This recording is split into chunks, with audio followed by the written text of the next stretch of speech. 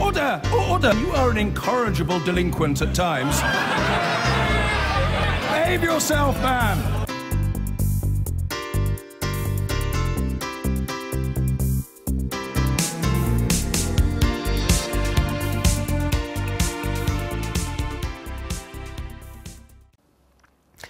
The geneticist John Hardy from UCL finds himself a couple of million pounds richer today. He was awarded something less well known, but considerably more generous than a Nobel Prize.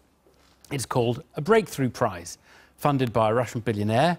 Sponsors it with a, help, a little bit of help from Facebook founder Mark Zuckerberg and others. Now, awards were made to several scientists, and the awards event appeared to be modelled on the Oscars rather than the Nobels. Black tie, not white coats. Uh, here's John Hardy uh, and others having collected their prizes.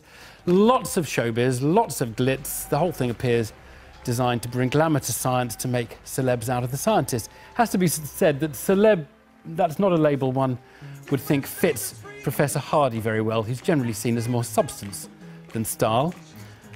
And I'm happy to say he joins us now from California. Good evening to you. Um, John Hardy, how did you find the ceremony? Not the sort of thing you're accustomed to, I'd imagine. No, but uh, it was great, actually. Of course, it was wonderful. And, uh, you know, I really appreciated it. Maybe I could get used to it. Right. But look, we do think of scientists as not worrying about how they dress and how they look, just worried about the substance, not the style. Do you want science to have more glitz, for goodness sake? I think that people, I think it's good that scientists are held in you know, more esteem and so on. I think that's a very good thing. Not me personally, of course, and uh, anyone who knows me knows me. I'm not knows that I'm not famous for my dress sense. so, um, you know, I think there is a good thing for science, to, it, science itself, to be uh, made more glamorous. Perhaps, for sure, I do. Yeah. Um, tell us a little about what it is that you won the prize for. Uh, it's a series of things to do with uh, dementias, really. Uh, we found in the early 1990s in Alzheimer's disease mutations in the amyloid gene. Amyloid is the protein which is deposited in Alzheimer's disease, and so that led us to suggest that amyloid was the essence of the start of the disease. Then later we found other genetic causes which fitted with that process, with the process starting from amyloid and going through other things to cell death and then to uh, dementia and so on. So it, it allowed us to map out a pathway to disease.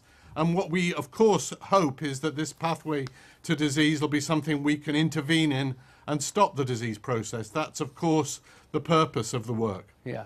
Well, it's great to ha uh, have it acknowledged, obviously. And you won, it's, it's about £2 million, but you have to pay tax on that, don't you? So how much do you actually get out at the end of all of that? I don't know exactly, but something well over um, something considerably over a million pounds. And of course, it's an amazing. Of course, that's amazing. Yeah. Of course, it is. What are you going to do with the money? Is it one of these ones where you're obliged to give it back to science and do that, or do, are you allowed to buy a two-bedroom flat in Camden with it? That's right. I am allowed to buy a two-bedroom flat in Camden. uh, I'm actually going to use some of it to. Um, we're trying to build a new Institute of Neurology building and a dementia institute there. Uh, so I'm going to put some to try and uh, push that fundraising for that new building along. But uh, yes, I am going to buy uh, a, a, a, little house uh, in London. That's exactly what. Yeah, it doesn't doesn't go very far that kind of money if you want to buy a house in London. But look, this this kind of thing is not a substitute for serious science funding, presumably. No, it isn't. But I think it's very important that uh, the public realise what science is about, and indirectly, I think that that helps uh, science funding. In, you know, I think it's very important as scientists we explain what we're doing, and you know that's a virtuous circle. If we explain what we're doing to the public, the public put pressure on the politicians, and science funding increases. So it's a, if we can get into a virtuous circle for science funding, that's a great outcome. Yeah. And you've worked in the you work in the UK. You've also have worked in the United States. I just wonder, in in three sentences, which of those do you think is now a better environment for scientists to discover things in?